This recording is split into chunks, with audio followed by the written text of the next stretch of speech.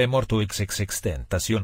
Il giovane rapper statunitense sarebbe stato colpito da un'arma da fuoco mentre si trovava a Deerfield Beach, Miami.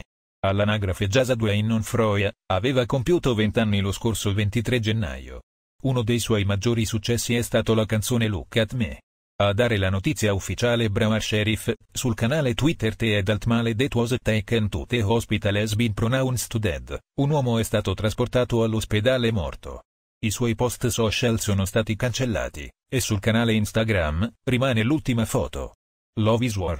E la foto di lui con la testa in giù. Secondo quanto riferito dal sito TMZ, il rapper stava uscendo da un rivenditore di motociclette nel sud della Florida e un uomo armato ha raggiunto il suo veicolo e gli ha sparato.